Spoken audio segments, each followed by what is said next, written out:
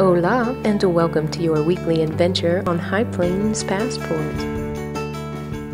The day is just beginning, and I